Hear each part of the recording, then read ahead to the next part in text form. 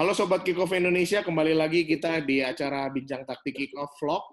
Kali ini kita kedatangan tamu istimewa, bukan satu tamu, tapi ada dua tamu. Eh, dia datang dari eh, negara tetangga kita, Australia, yaitu yang pertama adalah eh, Mike Cooper. Mike Cooper adalah saat ini dia menjadi kepala di Central Coast Central Coast Mariners di sebuah klub di Australia. Kemudian dia juga adalah asisten pelatih di tim nasional U16 Australia. Dan dia juga adalah seorang instruktur di FFA. Kemudian dia juga akan didampingi oleh uh, Nick Montgomery.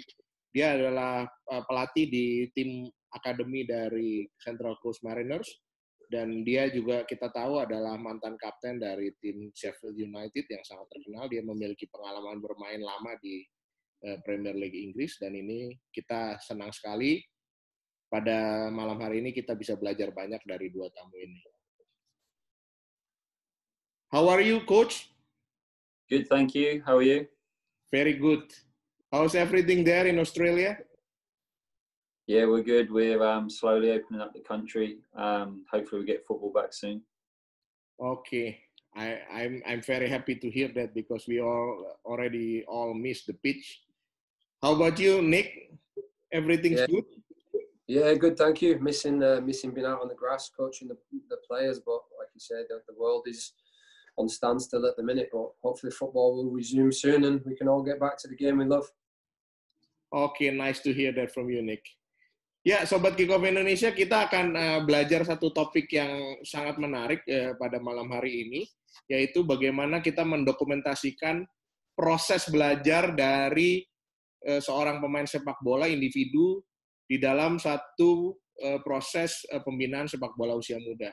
Kita tahu selama ini banyak sekali kita melakukan pembinaan usia muda terhadap pemain-pemain, tetapi kita juga sering melupakan pengembangan individu dan kita juga sering kali kurang teliti di dalam melakukan dokumentasi terhadap pengembangan individu tersebut.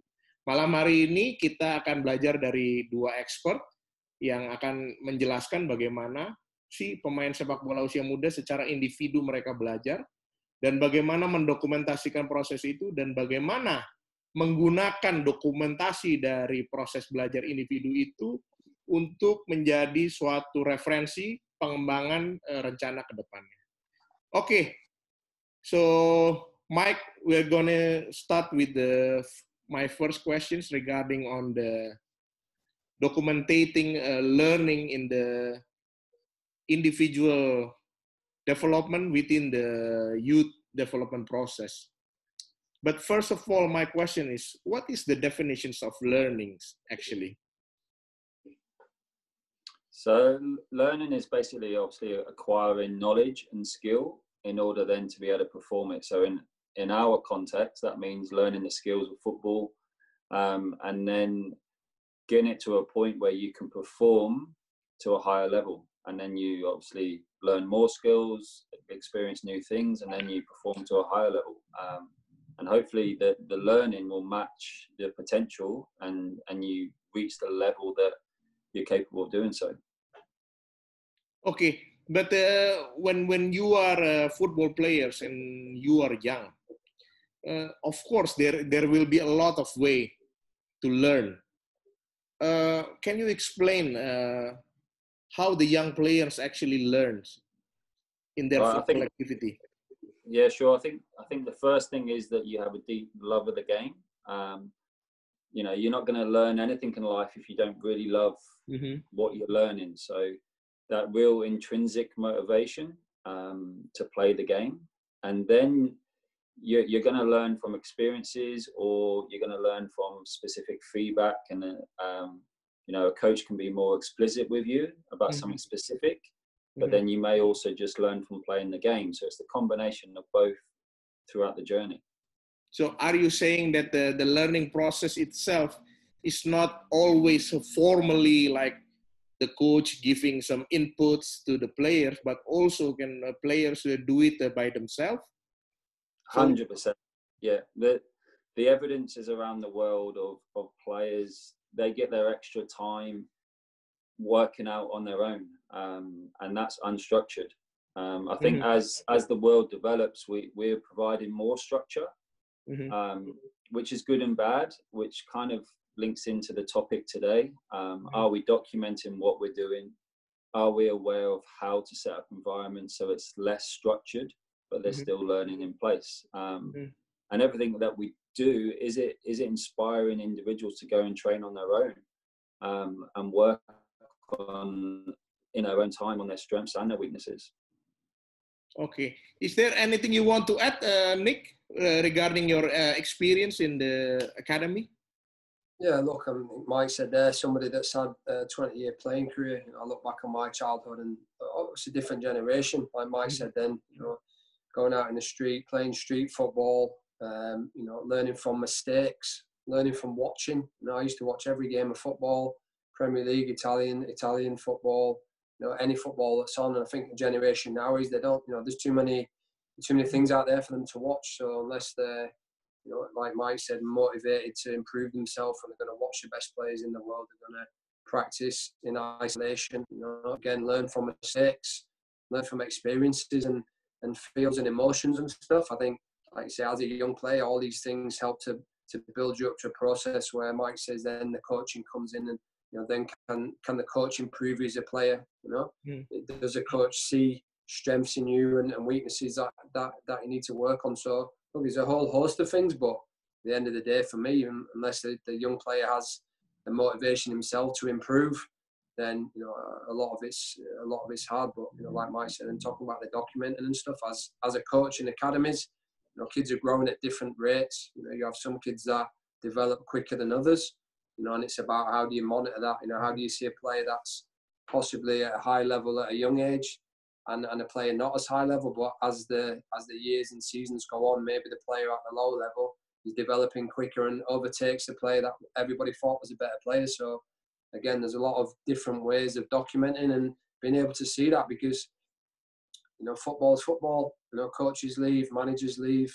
You know, but if, if clubs can have the data on the players that that are at their club, then possibly a new coach come in and straight away he's got mm-hmm. a, a, you know, it, it's documented. It's not my opinion or Mike's opinion or your opinion. It's document documentation of uh, mm-hmm. Match minutes they've played, injuries they've had, you know, um, development in terms of from from what level have they, you know, uh, what level have they improved on over the last couple of seasons. So again, there's there's lots of good ways of, of collecting data and, and documenting things properly. Okay, you have mentioned uh, the importance of the documenting the, the learning uh, process. So we already, of course, understand that the data is very important as a reference to, to, to develop the program, to, to evaluate and, and to monitor the, the progress of the players. But my question is, first, how do you, how do you measure the learning? And of course, uh, when you already said that the, the learning process itself it can be structured it can be unstructured it can be formal informal then how are you going to documenting that process um, I'll share my screen in a minute and show you um, okay. a bit of a framework and then some examples. But I think I think the key thing that um, you know, as adults working with young children, we have a responsibility and a duty of care to show them what we've done um, so I think I think that that's also imp- important to to understand. So I'll just share my screen. Sorry, get to the start. Okay. All right, you with me? Yes, yes, of course. Okay, so development. Yes. Yeah. So this the first few bits is just kind of like how a framework could work. So mm-hmm.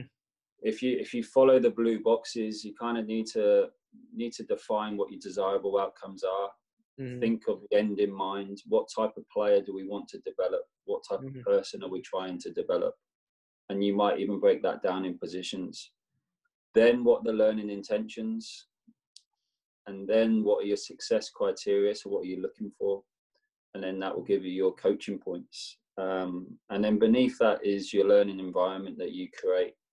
Um, and as a coach, you observe, reflect, monitor, um, so here's an example. So mm-hmm.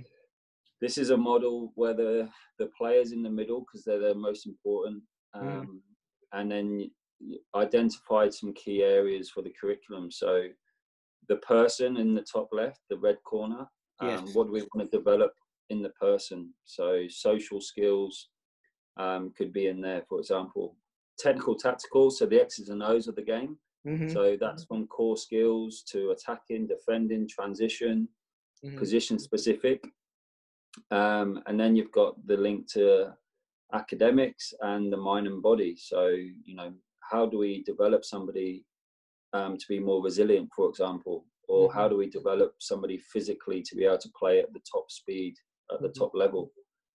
Um, so they're the main corners. And then within each corner, can you identify some key things to get the next level of detail out? Mm-hmm. Um, so it starts to get complex because once you've identified your key things, what are you what are you trying to develop in each one?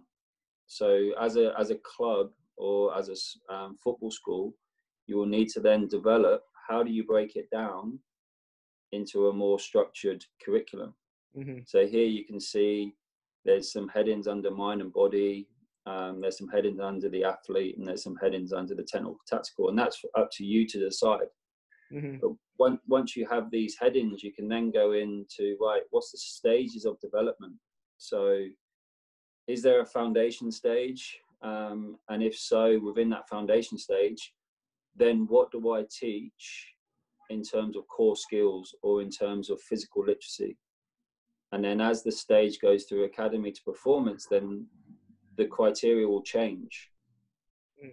So are you saying that in this uh, in these uh, tables is uh, regarding on the on the age uh, group separations? Yeah. So mm-hmm. the one on the screen at the moment will the foundation phase will be your younger age group, so you're, you're 8 to 12. Mm-hmm. Um, academy 12 to 15, 16, and then performance 16 and above. Okay. Um, and and the age is, I say it's approximately because there's there's yeah, stage versus age. Um, like Nick said earlier, somebody might physically develop quicker than somebody else, um, and and the better player might be hiding behind him. So then, once you have the um, you know, you mentioned earlier about KPIs. What are the KPIs? Mm. So then, basically, what we're producing is a learning process. So you've got the the overall curriculum, the learning intentions, the coaching points, and that will give you your environment and common language. Mm-hmm. And then it's a case of identifying what's the success criteria for each stage.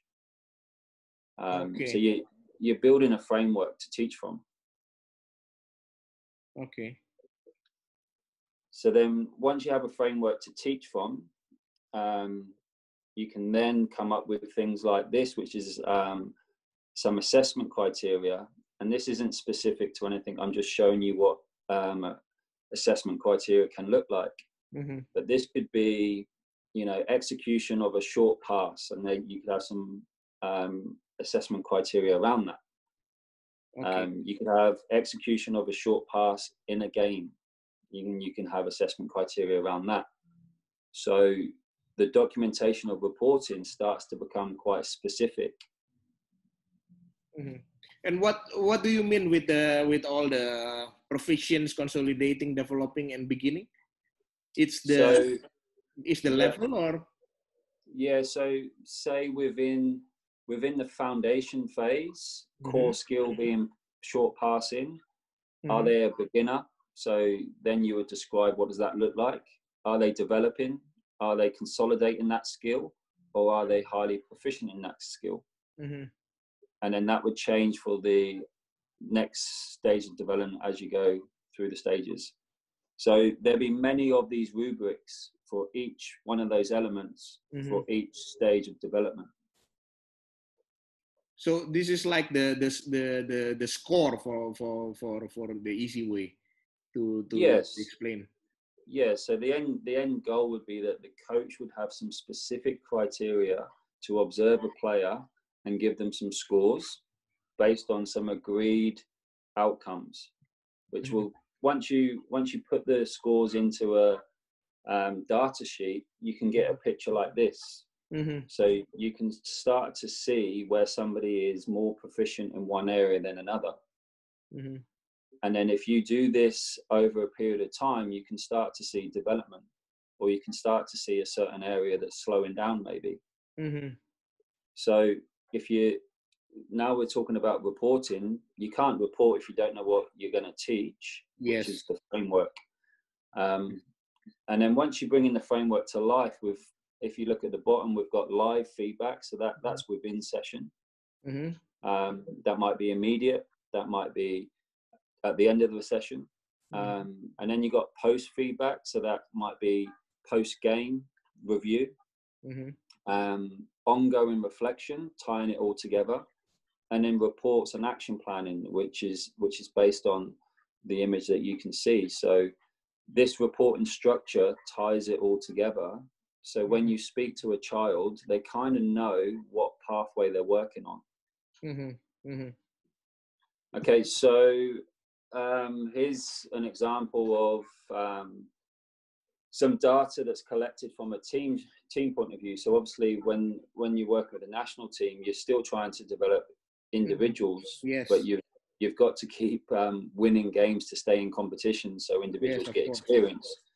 Um, so at this level, you get lots of information available. So here's some snapshots of technical information that's available to you after mm-hmm. a game. So it's post game mm-hmm. feedback.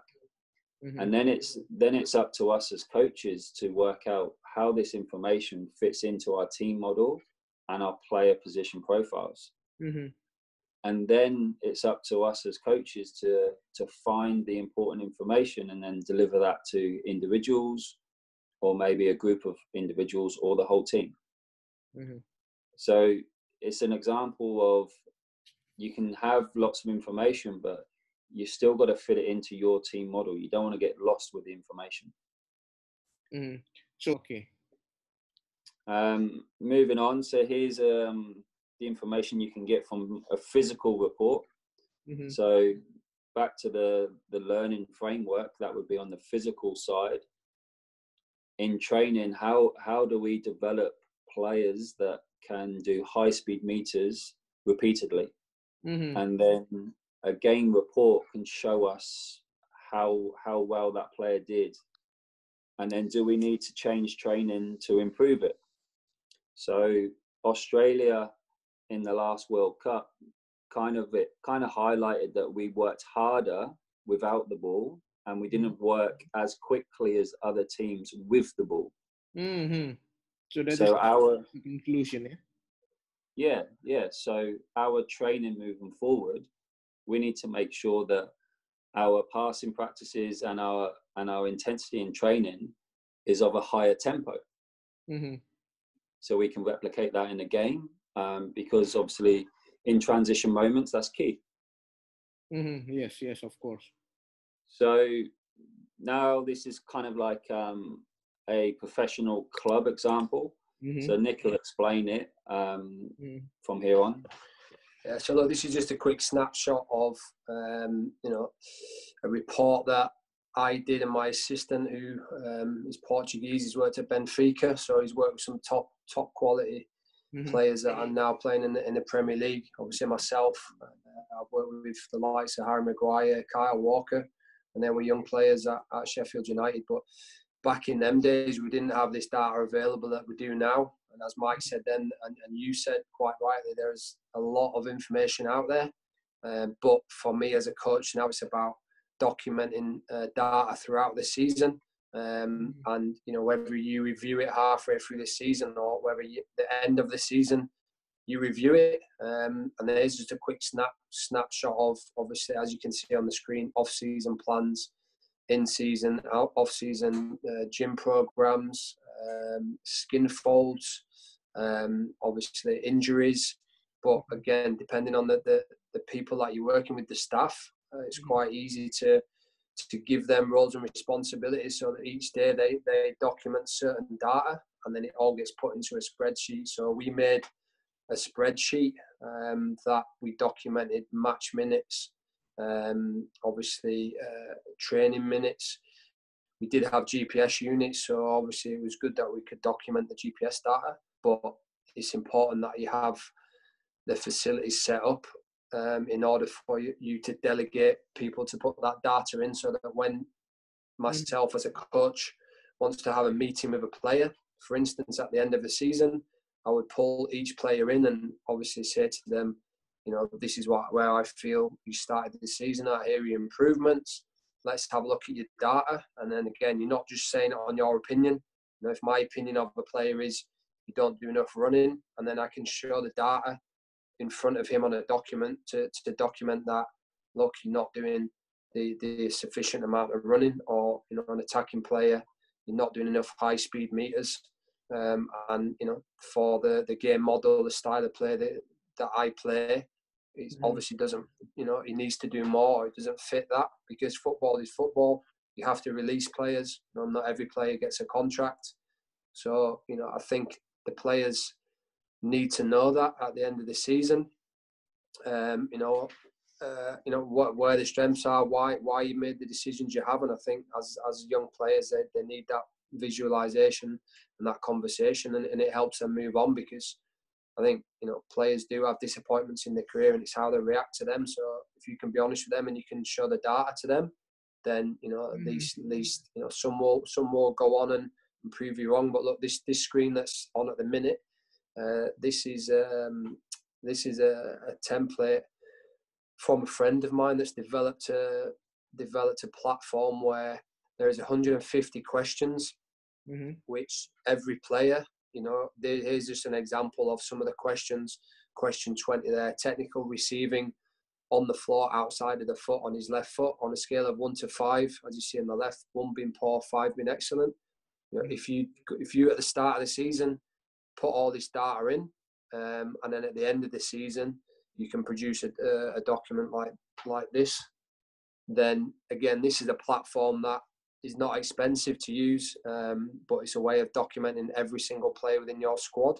Mm-hmm. Um, and that's and this is your opinion as a coach. So I think that's the most important thing. Football's about opinions. So if you can give your opinion, honest opinion on the players that you work with every day, day in, day out, and again, you can see their te- technical, tactical, physical, mental. The mental one is a massive thing because you get to see that every day. You know, what's their attitude like in training? What's their attitude like to setbacks? Um, you know, do they listen on in training? Do they listen in match days? So by producing a graph like this, which is just a quick example, it is a little bit more complex, and then putting all the players in the same the same data for every player at the end of the season, you can pull graphs and you can show them this, which again documents your you know your uh, your evaluation of them. So I think, you know, like you say, there's a lot of stuff out there, and this is quite a mm-hmm. simple way of, of allowing the players to, to understand your opinion of them. Okay, uh, Mike and then Nick, uh, my last question. Uh, you know, in Indonesia, all you have shown is uh, something maybe very new, and all you have shown in the presentation is also seems very sophisticated. But what is your uh, advice to at least start the to documenting uh, some uh, some small things or some some uh, important informations at least to to progress to to to to, to monitor the the players uh, development. What is your advice to to to start? I think for for just the coach you know the main thing is to to document your next session um, what what's your learning intention for that session mm-hmm. what are your key coaching points um, and then if you can try try and document some sort of reflection on how well that session went mm-hmm. if you can get into the habit of doing that over a period of time you develop a, a framework of sessions um, so you can look back six weeks ago i did this mm-hmm. um, in the future therefore i'm going to try and do this um, if you if you don't build that bank, um, you're pretty much guessing what you're doing for the players. Mm-hmm. So the first step, you your your your advice will be like documenting your sessions and uh, documenting your reflections on each sessions, right? It, for a coach, yeah. If for a club, Mm, I think for, for for a club, I think the first step is to is to start with that framework and and start with the end in mind. You know what what type of player are we trying to develop? What does that player look like? So in the in the striker position, what does that player look like? What skills does he or she need? Um, and then work out what what you're going to do in training. Um, so start with the end in mind, I would say. So like making the profiling of each uh, positions uh, and and then try to documenting uh, the the process uh, towards that, right? Yeah, and, and, not and not just the X's and O's. You know, the type of person, and this Nick mentioned the psychology, the mm-hmm. mental side of the game. Mm-hmm. Um, you know, if you're highlighting in Indonesia, you need um, players that are resilient. Yes. Um, can can deal with an aggressive nature, mm-hmm. um, and maintain calmness. Then, mm-hmm. how do you develop that? Um, but first step is to highlight what what you need. Mm-hmm. Okay. What? How about you, uh, Nick? What is your opinion regarding on it?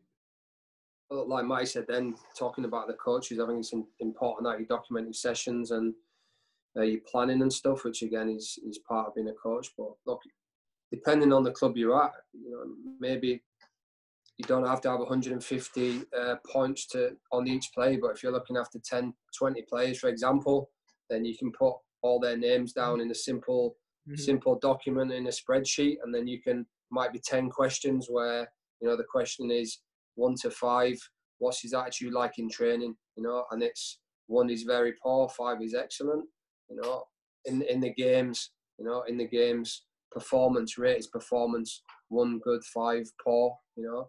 So again, it might only be relevant to to the club you're at, but you could create a simple a simple way of, of collating a little bit of data on each player so that at the end of the first month you can say, okay, John, you know, let's have a look at you in training. You know, you're averaging a two out of five, which is, you know, poor attitude in training, poor, low concentration. So you need to work on your, your concentration. All, all of a sudden the kid's there going, okay, so I didn't realize, but he's watching how I'm training every day and that's poor.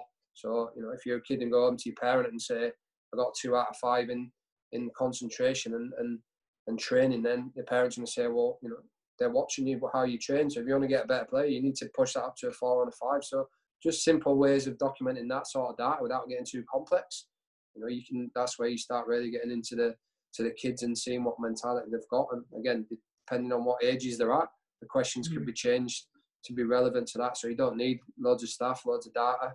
You know, everyone knows how to use a spreadsheet now. If not, get a pen and a paper and pen, and on your session plan, have all your, your squad there and after the session just just quickly mark you know what's relative so that you have some data at the end of it to show them. Okay it's uh, so basically start from simple things and uh, move forward right? Yeah always. Okay. Mike and uh, nick uh, thank you very much for your uh, time and uh, great great explanations. We learned a lot. No problem no problem. Thank you very much for having us Yes, uh, I wish you all the best for your uh, future career. Thank you, and to you, and uh, hello to anyone that's listening that we worked with um, together um, in Indonesia last year. Yes, I think uh, all of them uh, miss uh, with you. Oke, okay. baik Sobat Kickoff Indonesia, kita malam hari ini telah belajar banyak terkait mendokumentasikan pengembangan individu bagaimana pengembangan proses belajar itu harus selalu didokumentasi sehingga bisa menjadi informasi dan referensi untuk uh, pembuatan program ke depan. Nantikan terus eh, vlog-vlog uh, Kick Off Indonesia selanjutnya, pantau uh, informasi kepelatihan sepak bola terbaru di kickoffindonesia.com dan jangan lupa bahwa permainan sepak bola tidak akan dimulai tanpa kick off.